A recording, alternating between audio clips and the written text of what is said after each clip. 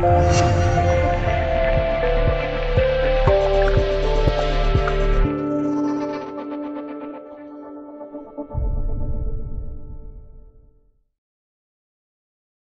不久，二十三岁的张常宁受伤的消息，让很多人都为中国女排捏了一把汗。很多人都想知道现在的张常宁怎么样了。最新的消息是，他有可能已经恢复训练了。为何说是有可能？这是因为在最新曝光的一段女排训练视频中，张常宁出现在了球场上，并且完成了一次精彩的后攻。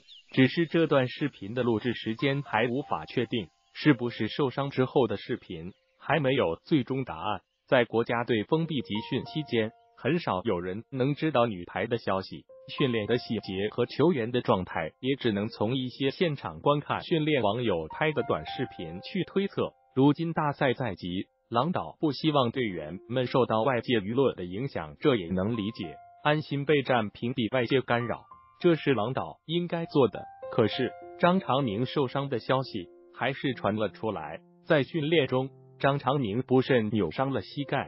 当时张常宁倒地救球，可是支撑脚滑了一下，导致了受伤。张常宁对中国女排的重要性不言而喻。郎导在不久前就表示，希望张常宁成为朱婷最好的对角。助教包装在带张常宁训练一传的时候，甚至直言他就是核心球员、主将。如今距离亚运会开幕剩下只有一周左右的时间了。张常宁如果能迅速康复，那他在亚运会上复出就不会受到影响。这次亚运会出现在大名单中的张常宁，也是女排最受期待的球员。很多人都想知道张常宁能恢复到几成，希望这次亚运会张常宁能给外界带来惊喜。